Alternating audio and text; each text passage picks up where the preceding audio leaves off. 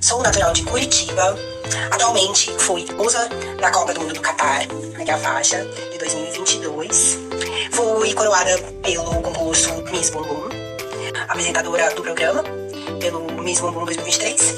Trabalho há anos como modelo, desde novinha, saio em capas de revista, jornais e sempre tô aí na mídia, né? Mas antes de ser a musa da Copa, do Catar, do Miss Bumbum, eu já trabalhava é, como modelo, trabalhei fora do país.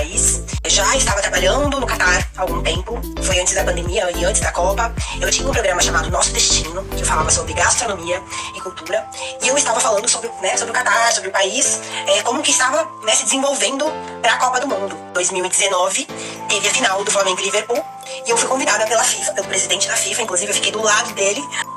E, gente, é, esse jogo do Flamengo e Liverpool foi o jogo o último jogo antes da pandemia. E depois não teve mais jogos, fechou o país, foi fechou com chave de ouro. Mas graças a Deus deu tudo certo.